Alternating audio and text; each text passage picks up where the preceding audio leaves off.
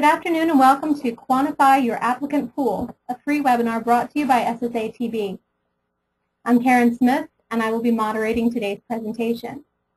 I'd like to thank Dan Harrop of Marianapolis Prep for taking the time during this busy season to share his expertise with us. Dan is an old pro at webinars, having provided one for us on the Skype interview. Be sure to check out the webinar page on admission.org to listen to that great presentation. Today, Dan will be discussing the advantages of using a rating system to help you determine your most desirable applicants. Because of the large number of participants in today's webinar, I will be muting all attendees. However, please feel free to type in any questions you may have using the box on your GoToWebinar control panel. Questions will be submitted to me, and I will present them to Dan throughout the presentation. A brief question and answer session will follow. I am recording this webinar and will make it available within a couple of days on admission.org, the SSATB website. All registrants will receive an email with a link to the webinar page. At this time, I would like to introduce and turn the presentation over to Dan Harrop, Director of Admission at Marianapolis Preparatory School.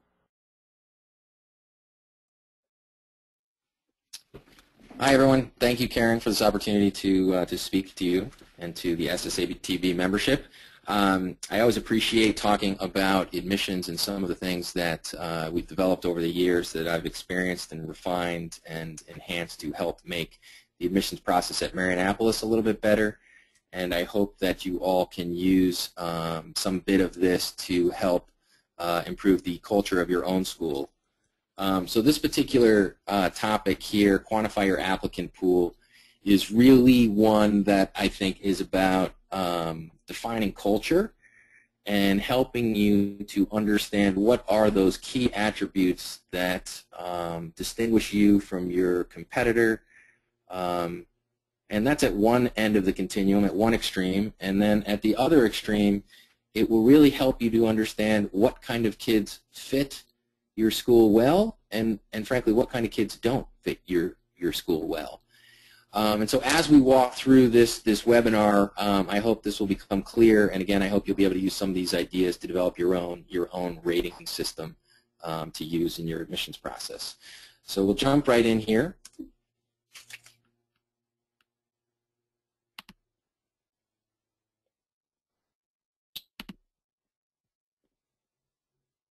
Here we go. This Prezi here, which I am, uh, I'm more of a PowerPoint person. Um, someone in my office who's helped me with the Prezi. But so who am I? Uh, my name is Dan Harrop, of course, Director of Admissions, Marianapolis Prep. I'm in my 11th year in this role. Uh, when I started here in 2003, we had 211 kids. Um, we're now up to 400. Um, you can see the breakout there of day and boarding students. But I think really what, what I am truly most proud of is the culture at Marianapolis and the community and frankly the kids that um, the kids and faculty for that matter that, that make up our our staff and our, and our and our culture. And so again, what I'm going to show you today is a little bit of how we've um, created this culture that's so unique to Marianapolis. First, I need to thank Ray in my office, my assistant director of admissions, because he is the Prezi master. And this particular platform that I will be demonstrating this uh, quantifier applicant pool um, process through is, is thanks to Ray and, and his expertise with the Prezi. So why the system? Why the system? Um, you know, for me, the system evolved many years ago. Uh, I started off at Marianapolis. It was an office of one, and I was doing everything from licking envelopes to fielding calls to doing interviews. And one of the things that I inherited at my school was this uh, an entrance exam and it was determined um, by my predecessors that the four highest scores on an entrance exam, SSAT, um, would be scholars.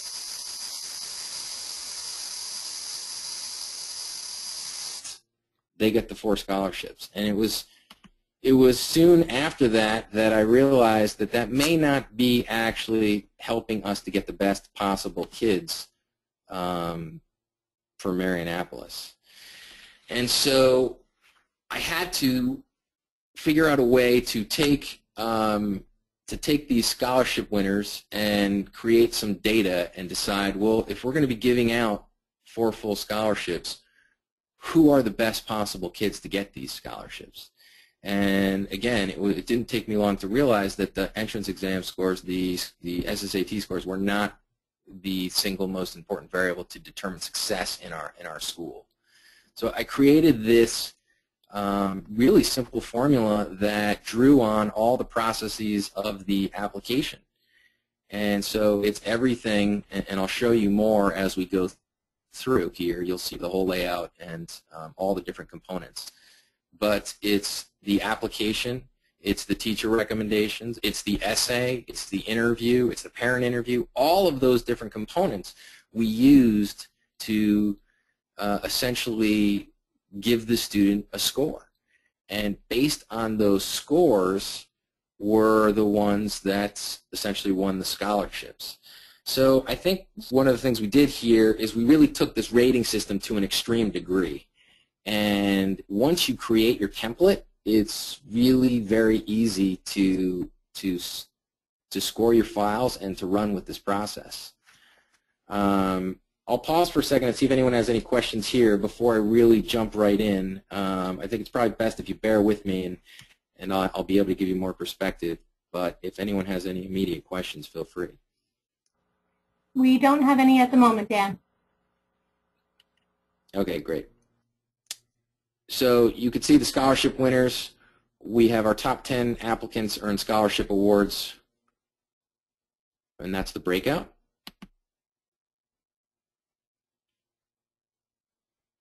Okay, so why, why, why the score sheets?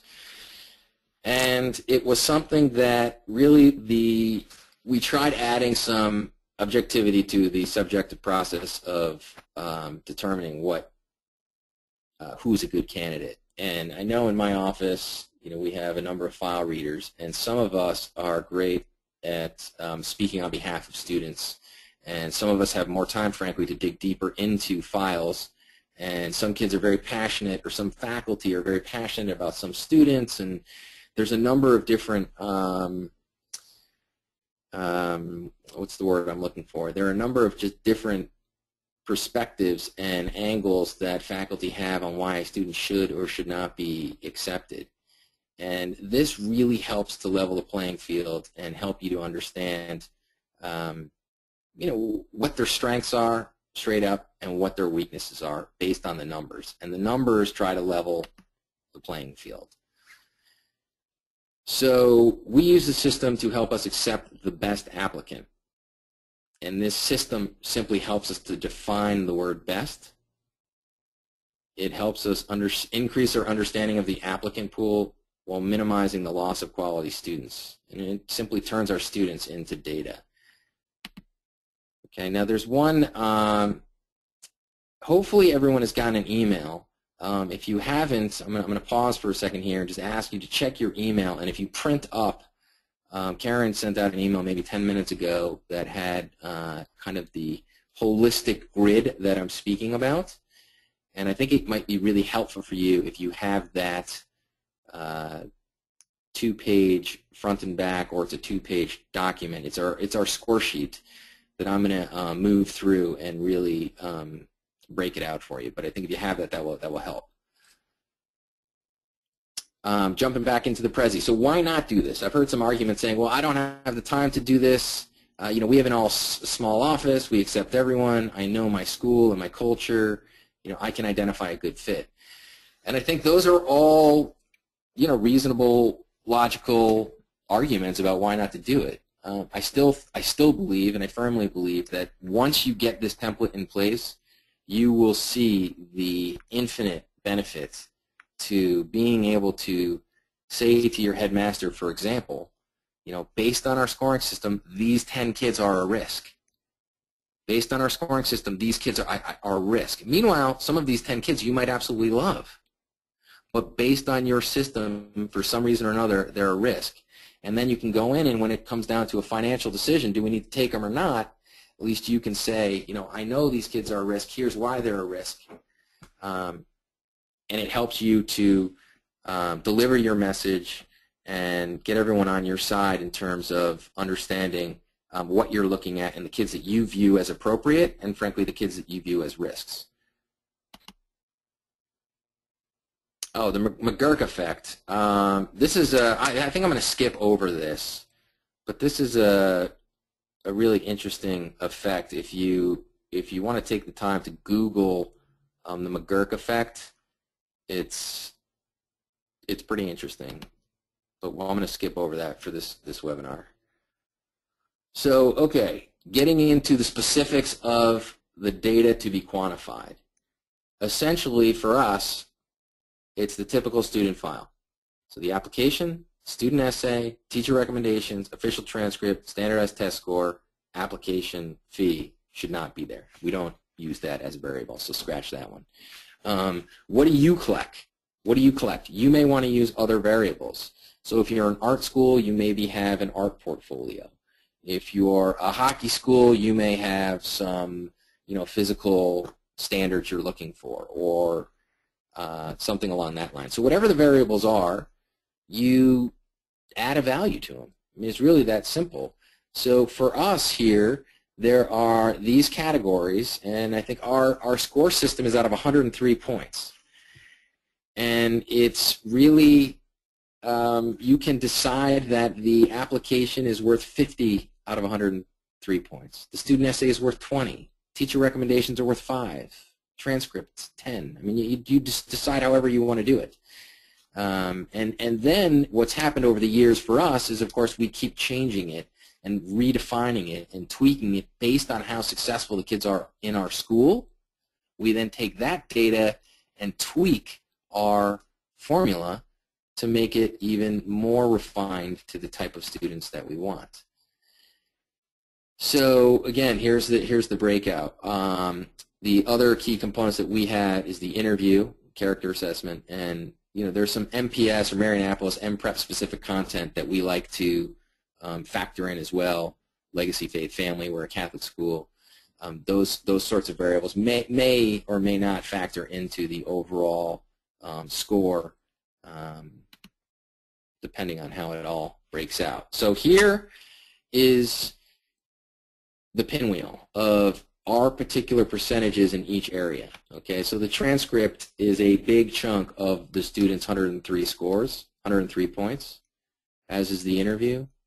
We factor in activities, recommendations, standardized test score, Marianapolis content, essay, and transcript again. So I will say that when I first started, we used to have the standardized test score was about 40% of this pie. I mean, it was a massive number, and it simply just did not indicate success in our community. And I'm going to pick on the standardized test score only because that's the most obvious. It's one that I think everyone's familiar with. And for us, in terms of success, it it just it just wasn't there. The correlation was not there. Um, it was almost, you know, there there was an argument one year where the kids that had the highest standardized test score, maybe they should actually lose points, um, meaning it was a negative in our community. Some of the kids, they just weren't getting involved in our community.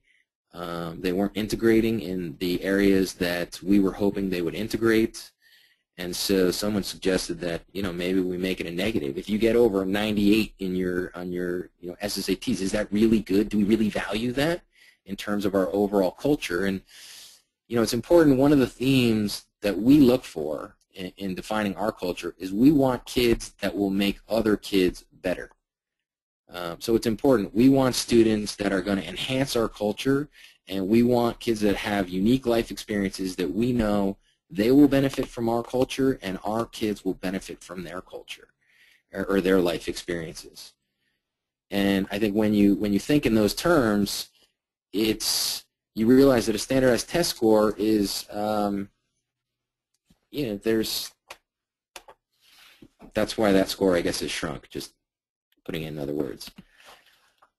So here we are. So, well, okay, so you take the standardized test score, and what I'm going to do now is I'm going to break this out into specifically how do we score these subcategories. So the standardized test score, and again, it used to I used to have it be 95th percentile to 99 with something like, you know, well, let's just call it 40 points out of out of 100. 90 to 94 was, you know, 35 points. 85 to 89, and I was breaking it out in increments of five. Over the years, we've changed that. As you can see, this is radically different than the way we used to do it. And we now see, for us, kids that score in the 80th percentile and above, they get the maximum number of points from that category. If you score in the 45th to 79th percentile, you only lose three points. Okay, so for many of these kids, and this is an important distinction, we're not talking about who gets in and who doesn't. It's it's really helping you define who's in the top 10% of your class based on what you value, and who's in the bottom 10% of your applicant class. Okay, so you could have somebody, and believe me, these are the hardest kids for us to deal with as an admissions office, are those kids that come in with five points in the standardized test score. And those tend to be some of our best kids in so many other ways. And they may, even only scoring, even losing 13 points in this category, they may still be able to, to crack the threshold of getting into our school, but they're probably not going to crack the threshold of getting a scholarship at our school. And so it's one of those things where once you break out these subcategories, these are the talking points. Where did they lose the points? Where did your student lose the points? And you know, this is the first one, and I'm going to go through all these different subcategories.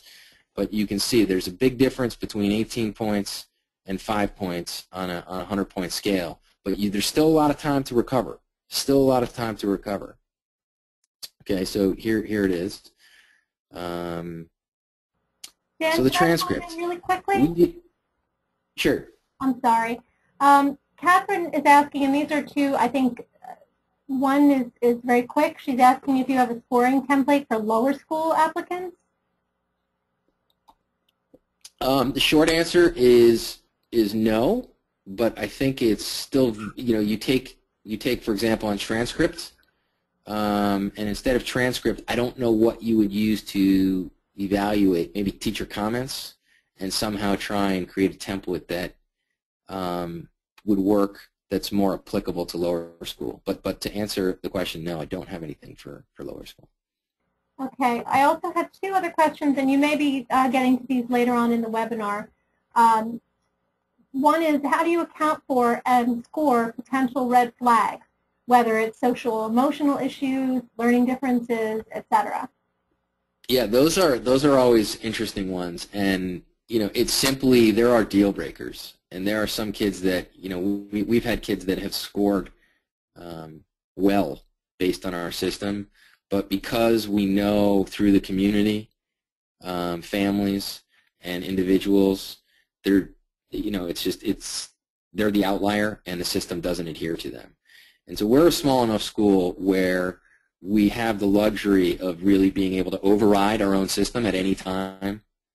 And we don't often do that, but occasionally there are instances where, um, you know, kids will cross into the threshold of being acceptable, if you will, ba based on the point system, but we simply will not accept them um, for whatever reason.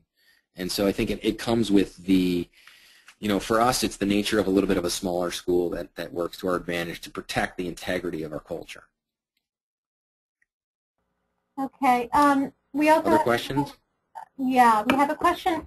Do you share, and this is about family communication, um, do you share a more vague explanation of the scoring system with families so they understand Oh. what they're facing? I, I, you know, it's, it, that's a great question. And one of the things I love the most about this system is when I talk with parents and I, and, I, and I explain the system and I just say, look, it's all about accumulating points. And believe me when I say I want every one of my kids to get as many points as possible in every possible category.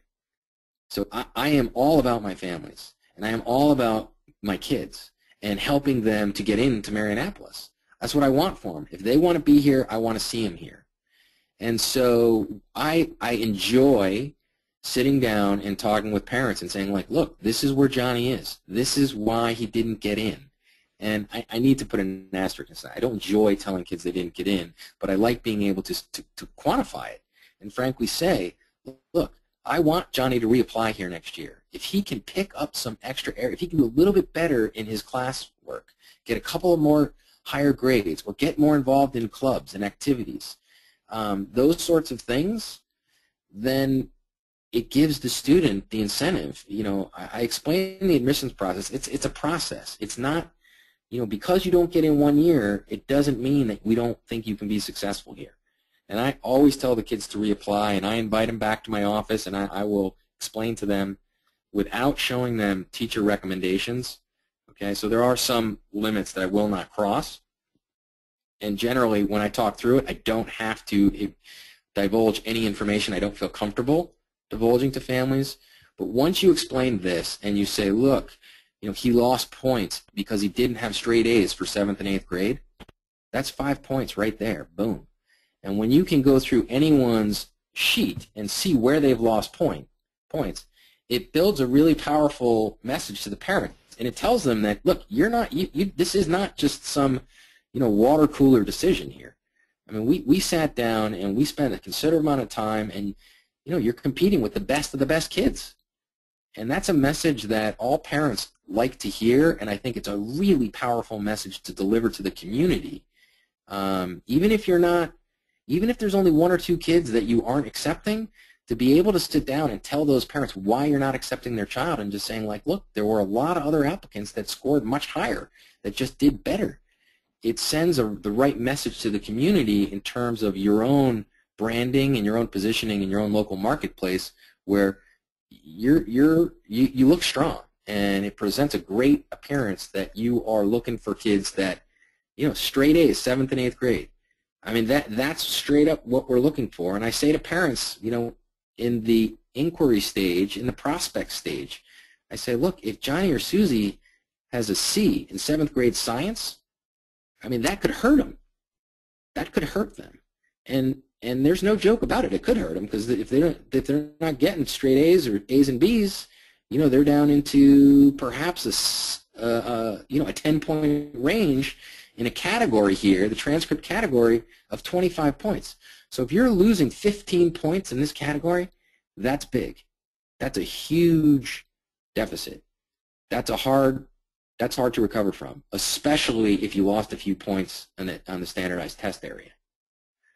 Um, so again, for us, this is how we score it, but I think every school is going to have their own system.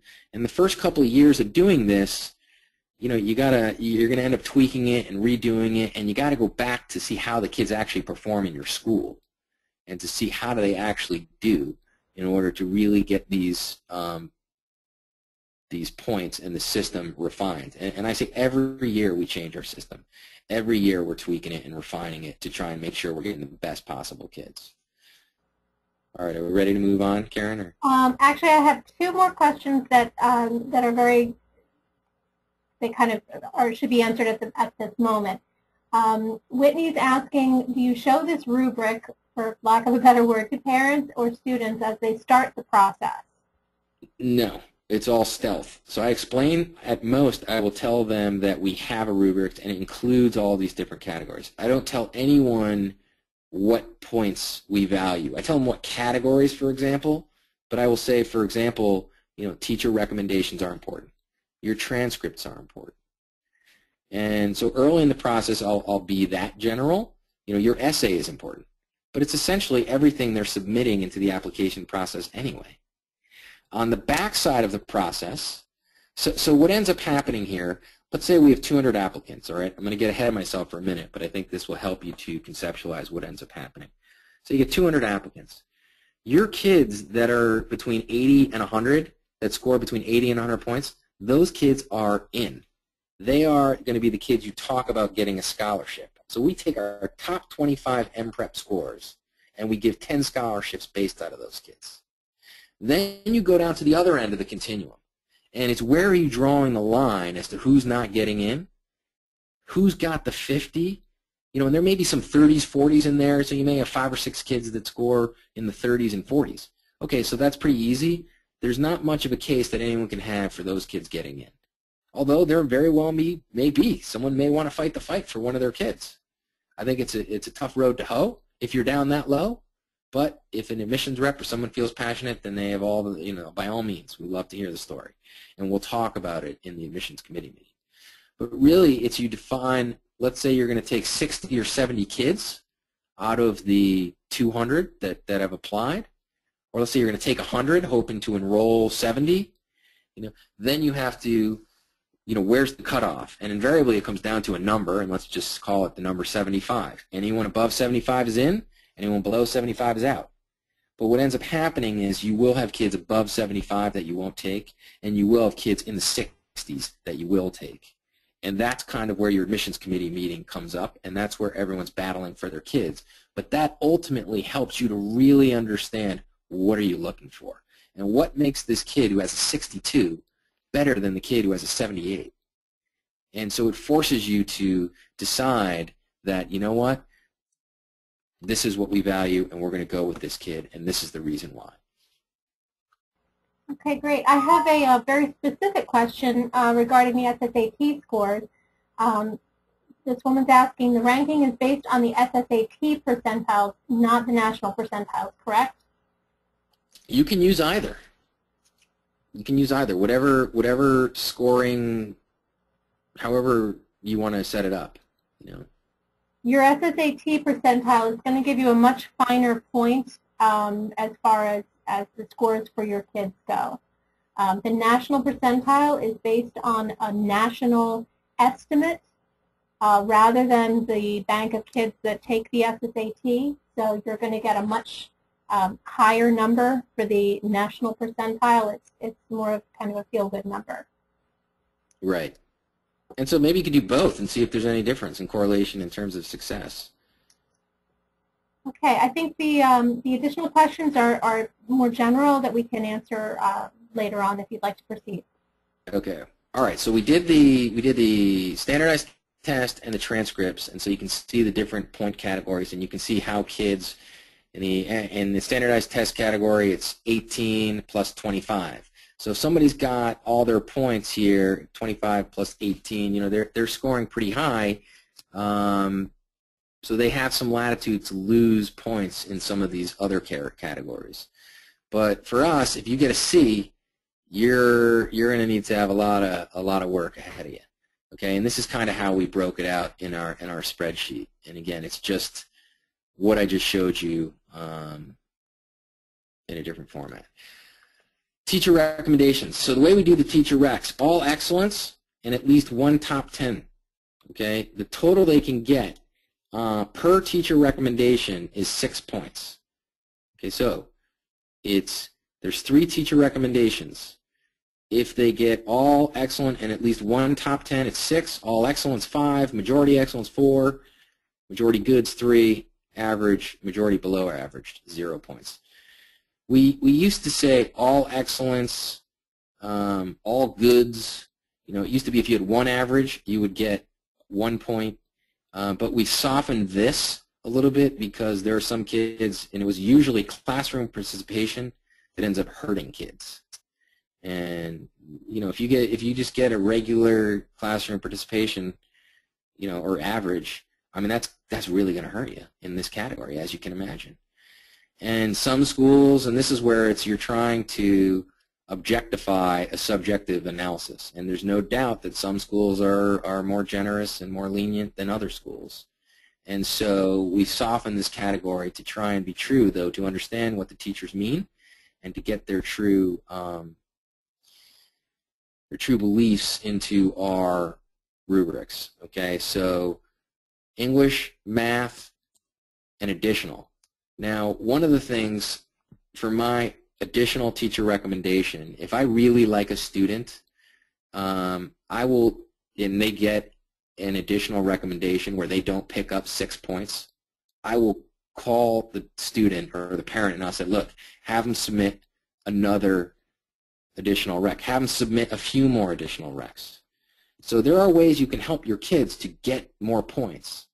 So the English teacher rec, maybe not so much. The math teacher rec, maybe not so much.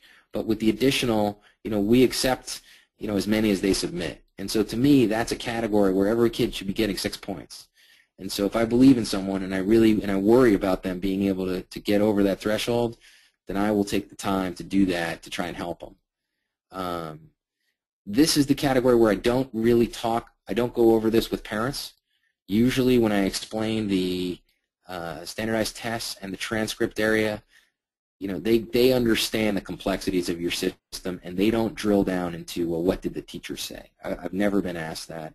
Um, I've had numerous conversations going over the rubrics with parents and with students that actually didn't get in, and it's all really positive, uplifting um, feedback that they take to heart and they, they work to improve on. Uh, any questions on the recommendations? Um, actually, Janice is asking, um, do you provide guidance to the writer of letter of recommendation or do you supply them with a questionnaire to complete? How does this work at your school given that letters of reference can vary so much? So I, I call it the check the box sweepstakes. So what I'm referring to these in all of these is we have a series of questions and they check either excellent, good, average, below average.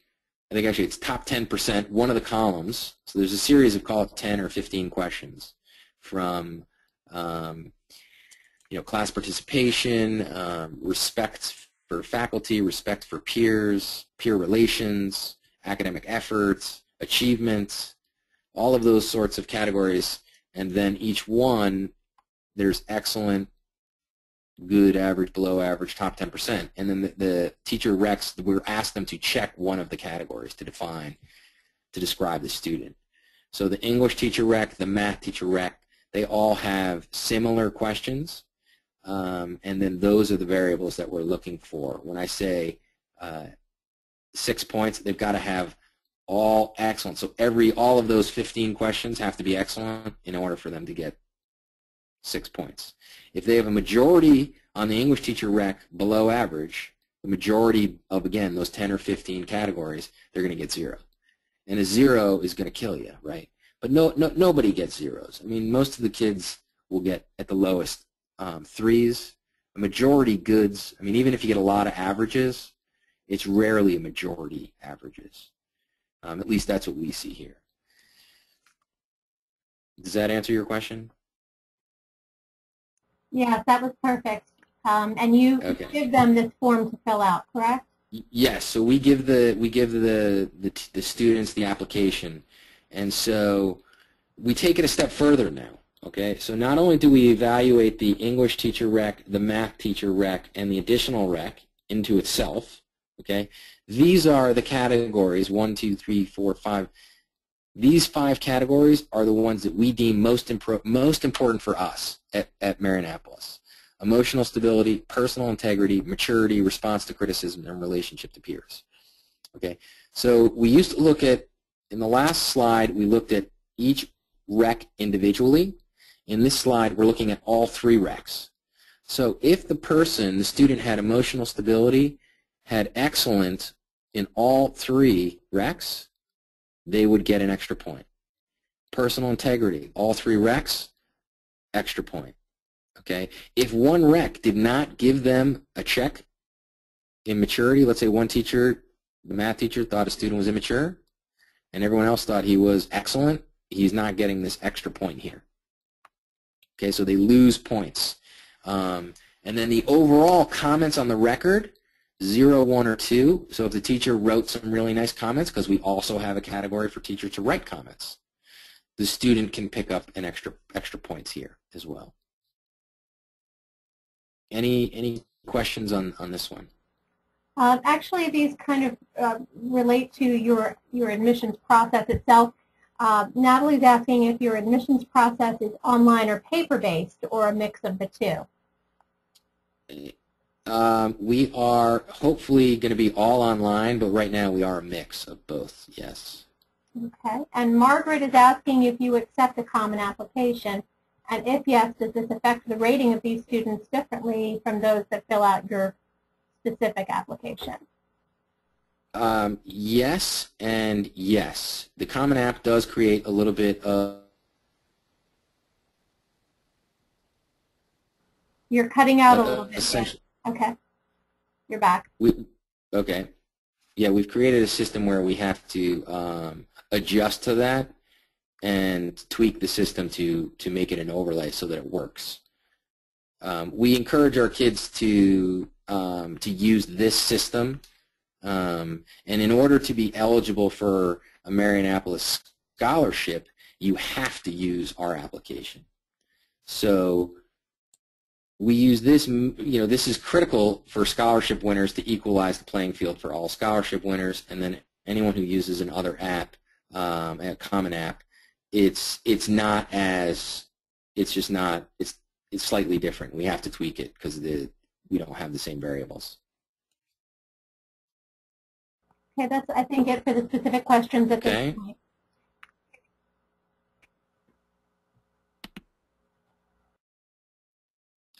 So extracurriculars. So one of the things we realized is that kids that play football or hockey or swimming or equestrian, we, we don't offer those. And those kids tended to um, want to do those sports and take away from our community.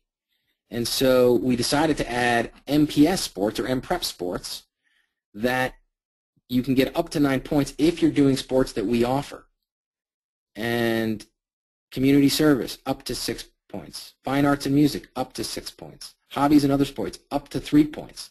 So if you do play, if you're a world-class swimmer, you know, we don't want to penalize you for that too much. Um, and generally, you're going to be picking up points in other categories, so this isn't necessarily going to be a, um, a deal breaker for you to get into Marianapolis or not, but it's certainly not going to help you to win the scholarship if you're doing some a sport that we don't offer. Um, but you can see the max points allowed in the extracurriculars is 12 points. And so to me, in this category, you, everyone should be walking away with 12 points. If you can't pick up 12 points in this category, then that's a problem. And this is, you know, again, like the like the Common App or the additional recommendation, I should say. You know, this is an area where you got to get your 12 points as a student. And you know, there are plenty of points, plenty of ways to get there. And if a student loses points in this category, then that's that's not a good sign. And generally, you know, it's not just this area. I mean, the kids tend to lose points across the board. Um, is at least what we've seen. It's not just one category where they're where they're going to come up short, especially as it relates to ex extracurriculars. Okay.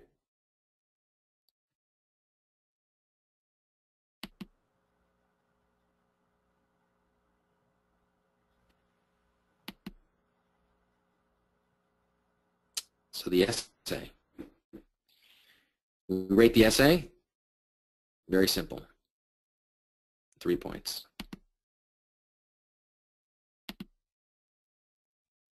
The interview. 10 points in this category. Pretty straightforward.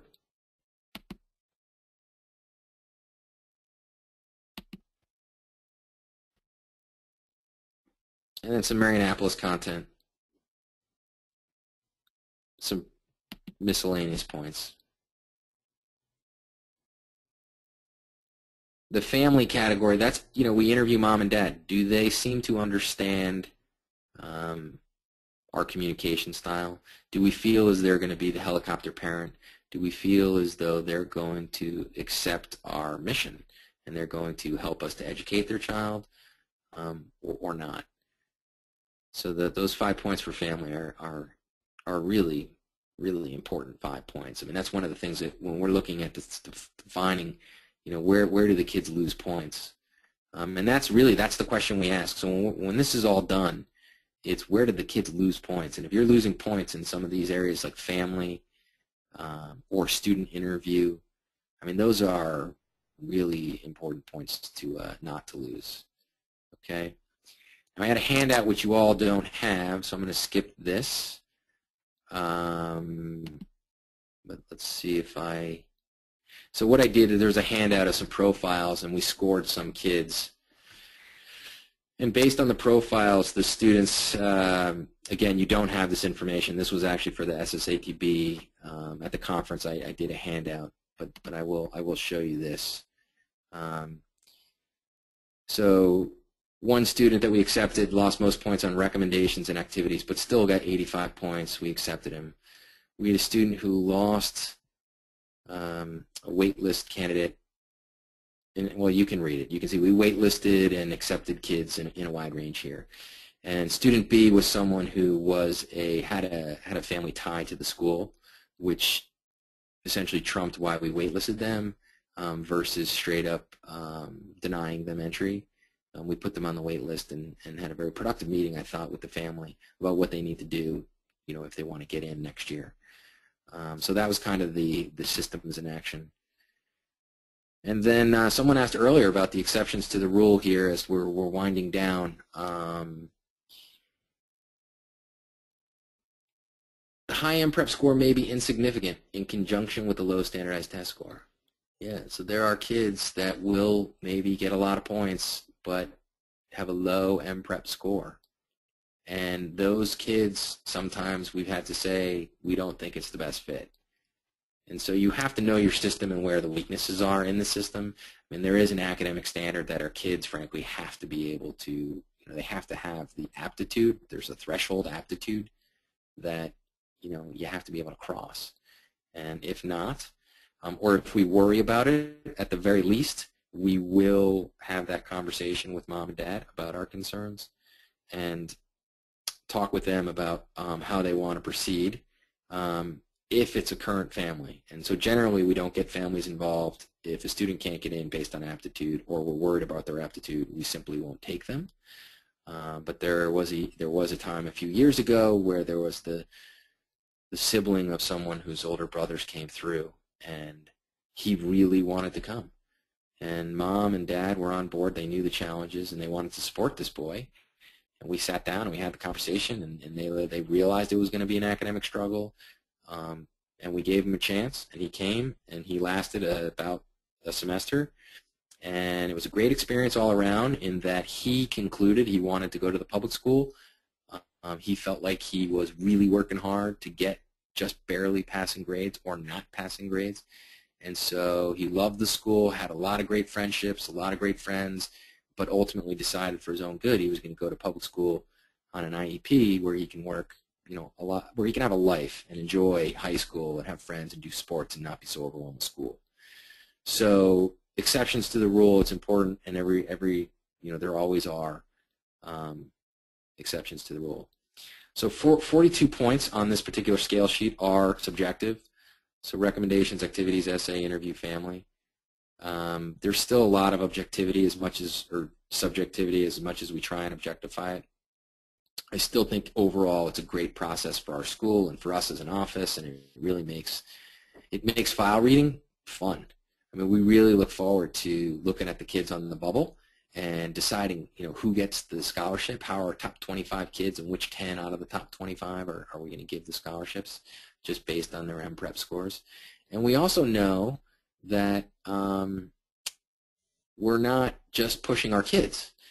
And so it's, you know, one of the things this year we're doing is we used to, each admissions rep would score their own files, but now we're moving it to the front office.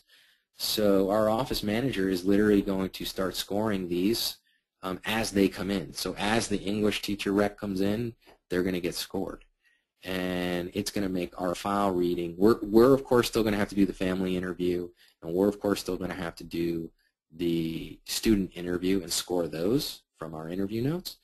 But the rest of it we're moving out to the front office, which is going to be um, really helpful. And then the other thing we're doing is we're working to incorporate this into our database so that we can really start tweaking these numbers um, by, by subcategory and seeing how it trends out over years uh, in terms of comparing um, year after year kids in various different categories um, and then overlaying that with their academic success and, and other success in the school. And so there's a lot you can do with it um, once you get students into numbers, which is which is exciting. It's fun. It's just I think it's that first push for you all that I hope this this webinar will help you to um, have some fun with it and, and really the thoughtful part is determining what do you value and what do you want and how, how many points do you want to do it out of. You want to do it out of a 1,000 or 200 or 50 or, you know, figuring out the sort of logistics and scoring system you want to set up for your own office.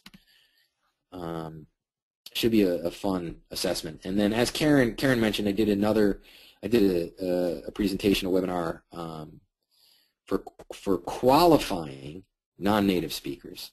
So this there are two things that I that I should uh, in, that I should talk about before I close. One, um, this whole assessment you really want to run by a lawyer or someone with some legal expertise, as I learned at SSATB. I think it would be wise to find out the legal implications of this sort of process. Um, if a family were to, you know, frankly, to be upset or to sue your school, I think you want to have some sort of legal understanding of, of how this all would work. Um, and then the, the other piece here is the this is for our American boarders. So this whole system is for American boarding students. It's not used for international students. And since we're a boarding school, we have a number of kids that come in on the international side. And the other webinar I've done was about qualifying non-native speakers. So using the Skype interview to qualify and really drill down deep into understanding a student's um, English ability. Um, but it's, it's a very separate process. It's a very separate program. It's very different than, than the quantifying piece we use for American kids. Uh, but some of the highlights of that, you know, again, which is on the um, website, you can see are, are listed there. And so I guess in closing, the last thing I would say is, is just that it's one of these things come, come March when you're doing your file reading and you've got 200 applications and you know you can take 70 kids and you push that pile of 70 apps in one side of the table and the 130 apps on the other side of the table and then you jump into the 70 apps because ultimately that's the core of your accepted class. And you decide okay where, where which which of these 70 kids can we maybe put on the fence? And then you put those 10 or 15 kids on the fence, and then you jump into the other 130 kids, and you're like, okay, we got 10 kids over here who we got maybe on the fence. Let's see which 10 kids we can pull from here and slide them over into the accepted side. And so it's it's really it's really fun. Um, it's something in the office we really look forward to, and uh, it's not it's it's helping to ensure that the best kids from all different angles, from all different aspects, uh, to stay true to the kinds of kids you want and need. And if you need a soccer goalie or if you need a bassoon player, you know, maybe some years that's going to help. And it's going to, but you'll be able to really see how much is it going to help. You know, are you taking a student who got a 46 but who's a great soccer goalie and bumping them into a 71 category? And then you have to decide is that is that really what you want to do. But but it creates the conversation, it enables you to have the talking points, and it really helps to draw lines. I think um, not only for your own office but for your whole community at large, especially other administrators when they're trying to understand the complexities of uh, of what we do in the admissions office. Okay, so I will say thank you all for your time. Um, if there are any other questions, uh, I'm I'm available here. Actually, yes, we do have uh, we do have a number of questions, Dan. So um, I'll read through the most uh, general of them. Um, please, everyone who's listening, uh, realize that I'm going to be sending a uh, an attendee report from the webinar directly to Dan, um, so he may be able to um, ad address your questions specifically, uh, but I will get to as many as I can. Uh, Whitney's asking, if the goal of this process is to determine scholarship awards, how will this enhance the process of evaluating applicants in a school that only offers need-based aid? Well, it started off as being only for scholarship, but it really helps us define who, even on the need-based side, I mean, we use a lot of this. I mean, what's their MPrep score to decide who gets the aid and how much aid do they get? And so we're not a school that has enough aid for all of our kids, so we have to define who we want to give aid to and frankly, if you're a student that has, you know, in the 90s uh, with an M-Prep score, I mean, we, we want you here. And we're going to do everything we can um, versus a student with an M-Prep score of, say, a 40. And so it started off really being about the scholarship, um, but it really has evolved to being more about helping us to define who are the best kids that are going to contribute the most to our culture. And so our goal is to get the best possible kids with the highest M prep score because we know those kids with the highest number are the kids that do the best in our community. I mean, it's just that it's just it's that simple. Okay, Heather's asking, with your admission evaluation, do you feel that any kids get overlooked? Um, that's one thing that I would say no, and that's what I'm most proud about. I mean, we make sure nobody gets over, overlooked. We end up spending time um, with the kids at both ends of the continuum.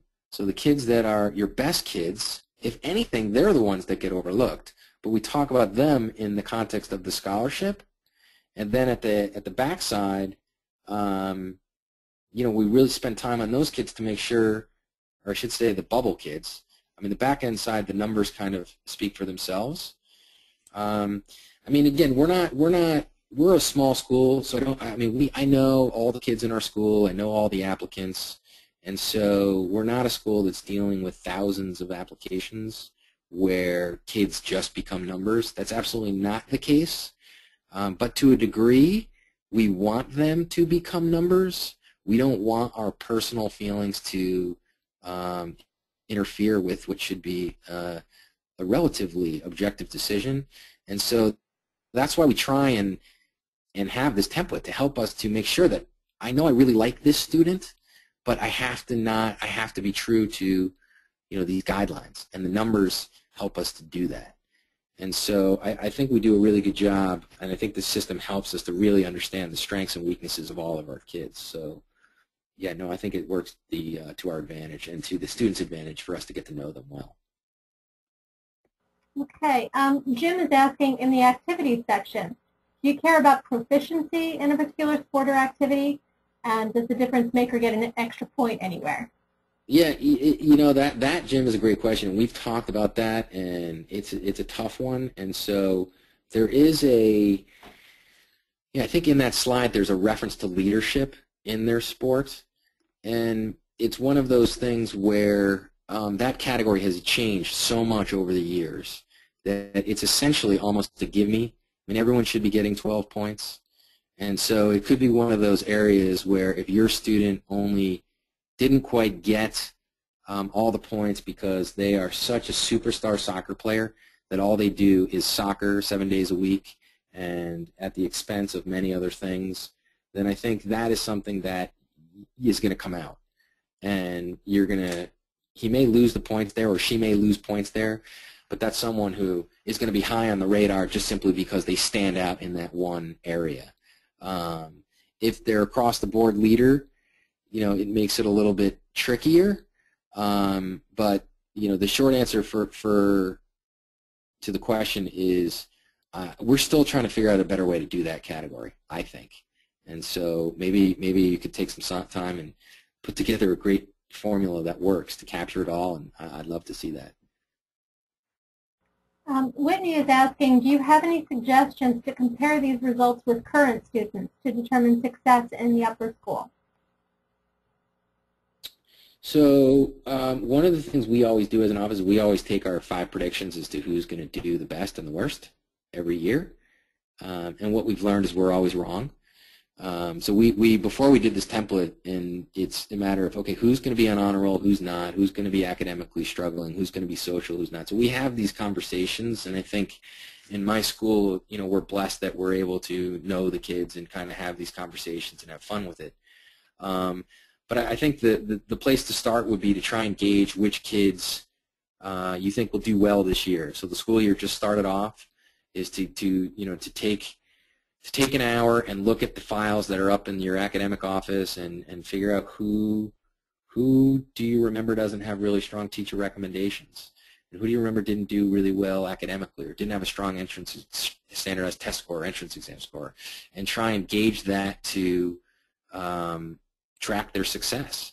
And then from there you, you know you could start building your your your rubrics um, just based on those those variables uh, you know, the, the other thing I will add is you will see on the transcript, for example, we, we have, you know, 30 different towns, if not more, and everyone does, teachers are uh, score differently, and some are really hard, and some are, some are easy, and, and locally speaking, we have a large local population.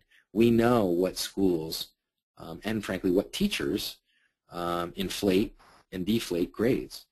And so we don't have a formula that doesn't account in our formula, um, but we know.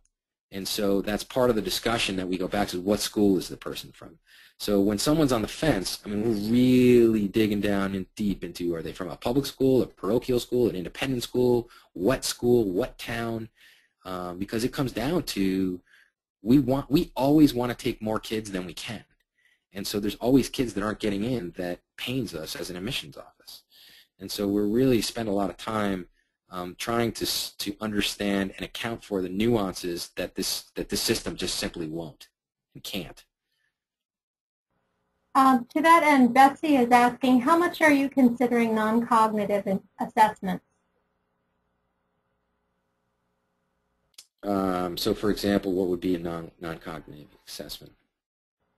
Uh, assessment of non-cognitive traits, non-standardized testing,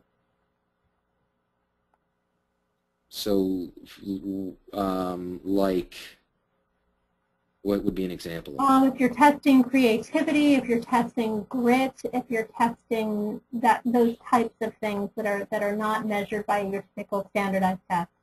Right. So I think if you were to ask me, for me, this whole test is a grit test. So for me, this is what we determine as, as MPREP grit you know, this is these are this is the recipe, if you will, to help us to find the student that's going to make our community better. And meanwhile, they're going to benefit from our community because they're going to be better. And so I think this is our recipe to get the most out of every kid. And this is our recipe to help kids to take risks socially, academically, athletically, and not just be willing to take those risks, but to have a, a legitimate chance at success when taking these risks. So in standardized tests, I mean, that's straight up aptitude. That's, that's part of it. And so um, while we've minimized it over the years, I mean, it's still an important component of success in a, in a school. Um, it's less than 18% of the overall recipe is a student's aptitude, um, but it is certainly 18%. You know, it's, it's a percentage that may or may not go up, you know, with, with each passing year, but that's where we are right now. Okay. Um, I think probably the remainder of the questions are very specific. Um, Samuel's asking, how did you decide the weights of the maximum points given? Yeah, Samuel, that's a good. I mean, it was it was really something where it just evolved that way. Uh, I think we went on the hundred point scale simply because everybody. It's something that we know. We're all teachers, or we're a teacher, at least in my office. So the hundred point scale seemed to be a good scale to operate from. Uh, and I think somehow we we got up to 103. And again, it's we kind of give the kids extra points because in our mind we're thinking out of 100, but it's really 103. So um, but that's there's no there's no real uh, quantitative formula to it for us, but it seems to be working.